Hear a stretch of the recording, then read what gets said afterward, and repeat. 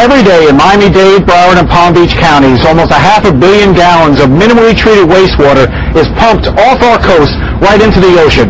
Here we are, little less than a mile off the shore in Pompano, the site of one of those pipes.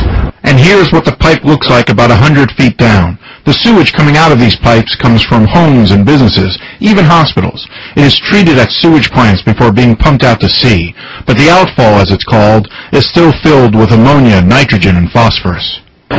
Most people don't see it. Most people don't realize sewage is being dumped into the ocean. They're shocked to find this out. Uh, most people think that this practice was discontinued years ago. Ed Tichenor is director of Palm Beach County's Reef Rescue. A scientist and former environmental regulator, he's argued for years that the wastewater coming out of the pipes acts as a form of fertilizer, creating giant algae blooms. That algae ultimately chokes off and kills large sections of the reef. Jeff Terode has lived in Florida all his life and been diving these waters for years. He says he's seen the destruction firsthand. This is nothing but a chemical cocktail that feeds algae. Anybody that dives around these pipes knows that there's really nothing. It's no man's land down there. Terode took us out to what is known as the boil, the spot where the effluent roils up to the surface. Right now we're just off the boil, what they call the stink hole. I know why they call it a stink hole now. You can smell it. It smells that, that raw sewage kind of feel to it, like a treated garbage. It's not a pleasant smell at all, and it's not the type of experience that you want to have when you're sitting out here on the ocean.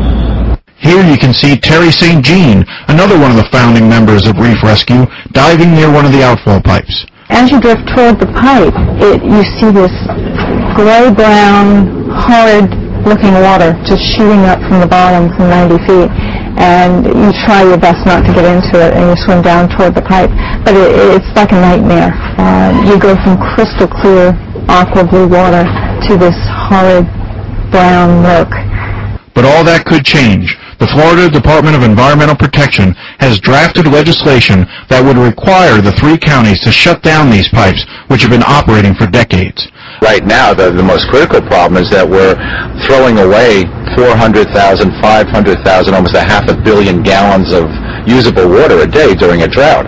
Environmentalists and state officials argue the water that is being pumped into the ocean could be treated and used on land to irrigate farms, lawns, and golf courses. In South Florida, we treat and reuse only about 7% of our wastewater. In the rest of the state, the average is closer to 50%. Officials in Dade and Broward County are opposing the proposal by state officials to shut down the ocean pipes. In a letter to Governor Charlie Crist, Miami-Dade Mayor Carlos Alvarez argued that there is not enough scientific evidence to compel closing the pipes. He is asking the governor to set aside the proposal, which would cost the county billions of dollars and could raise people's water bills by as much as $20 a month. John Renfrow is director of Miami-Dade's Water and Sewer Department. Is this harming the reefs? You know what? I don't know.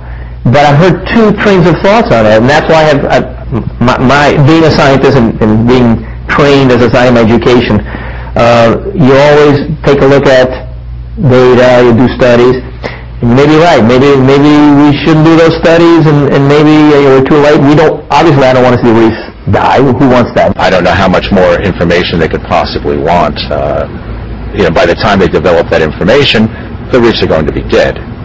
I'm Jim DeFede, CBS 4 News.